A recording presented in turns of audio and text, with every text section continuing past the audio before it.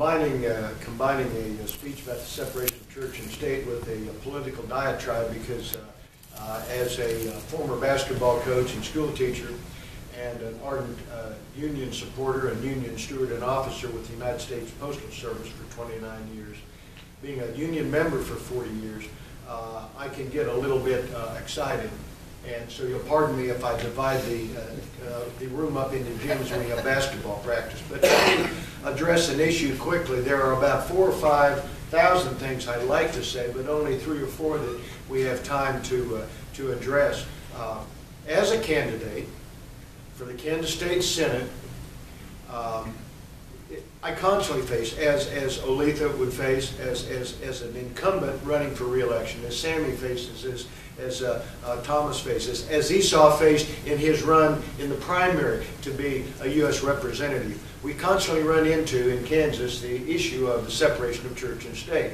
Now, what I mean by that is that I espouse an opinion and I say something and Oletha agrees with me or disagrees, or you say something and somebody agrees or disagrees, and that's all well and good. Because we can discuss it, and we can agree to disagree.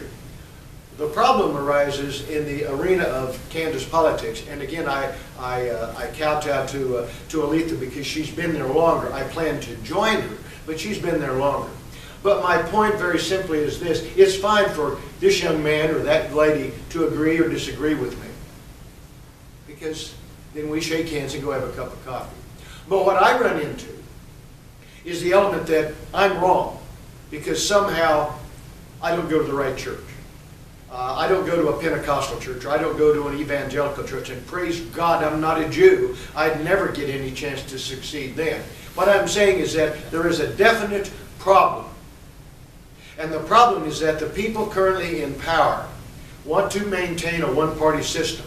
And it's not the Democratic Party or the Republican Party. It's, excuse me, it's our party, and praise God because we're, we're the ones that He believes in. We're the chosen ones. We're the anointed ones. Well, I have something to say to address that. Yes, this is a diatribe, but this is something I want to say. Uh, I'm running against a 22 year, not a 22 year old, but a 22 year incumbent for the Kansas State Senate. She's not here. I was at a, a, a meeting yesterday, so was Oletha. My opponent wasn't there. My opponent, however, was probably, unfortunately, I'll probably get in trouble for saying this, but she was probably somewhere locked securely in a bank vault, counting the money she got from her campaign contributions from the corporate bigwigs that are trying to run and have currently are succeeding to run this country. And the reason I maintain that point is that while I'm a Democrat and there are Republicans galore in Kansas, and while Mr. Jefferson is a libertarian, the people here, all of you, took the time to come here to listen. Some of you to speak, but to listen to people speak. And when I talk about the separation of church and state, I am appalled at the way people are treated when they show the slightest tolerance for someone else. One of my best friends is an 80 year old architect who is responsible for essentially designing the 1996 Atlanta Olympics. Quite an arduous task. But, uh, well, sometimes he runs into problems because he's a free thinker and a free speaker. And he gets in trouble because people say, well, that's, that's just my friend. Now, maybe this is a sermon without any factual documentation, but my point is this. The separation of church and state is something that is totally necessary, and it's, it, it, it's, I'm adamant that whether I agree with Mr. Jefferson or Mr. Freeman or somebody else, Ms. Flaherty or not, they have the right to speak. They have the right to have their opinion. Now, that doesn't mean we can just pinwheel, pinwheel into a free world and have nothing, nothing, nothing, no constraints. But we have to have a system of government that allows for disagreement, but mostly allows for discussion. I can assure you this, and I'm about done because I don't want to over, I know, I don't want to overstay my welcome, but one of my campaign speeches, I, when I ended, I always, I, I, I, I implore them, I'm Pat Cantwell, da da da da da da da, and then I always say, folks, uh, please bear with me just one more moment. I truly believe, whether there's one, two, three, four, five, 12 people, or 15, or 25, or 2,500, I truly believe that we can work together, you and I. We can work together to make life better for our families and our friends and our neighbors. Now, I'm not addressing specific issues here. And I'm not trying to get elected because you people are going to vote for me anyway, or you're not going to vote for me. The decision has already been made. This is a Saturday and the election's Tuesday. But my point is we can work together if we work with our old friend Joe. And everyone knows Joe. Geraldine, you sir, you know Joe. We all know Joe. Work with our friend Joe, J-O-E, Jobs, Opportunity, and Education. There's nothing there that says that only Methodists or Muslims are allowed to govern.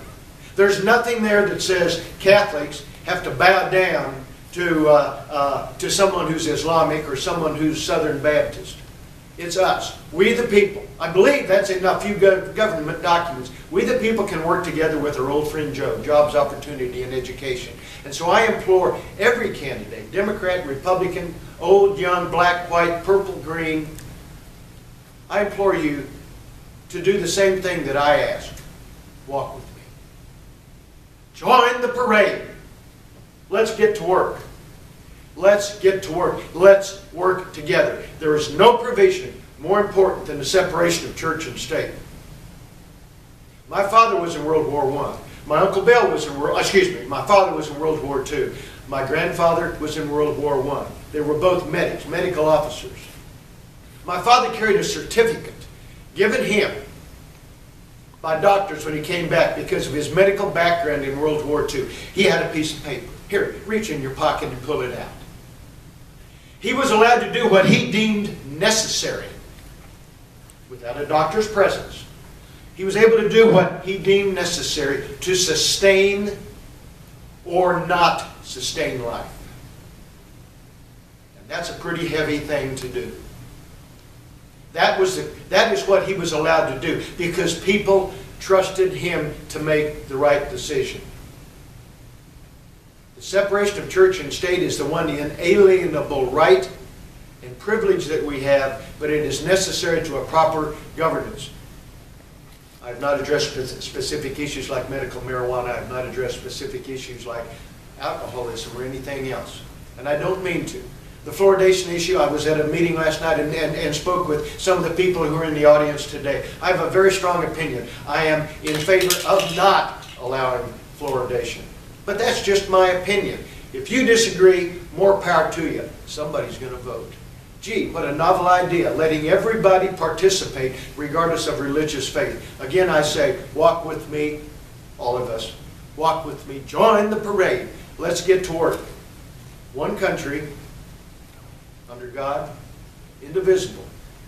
Power to the people. Goes back a little ways, but I mean that, power to the people. If it's a pontificating political speech, I apologize, but I'll say one thing.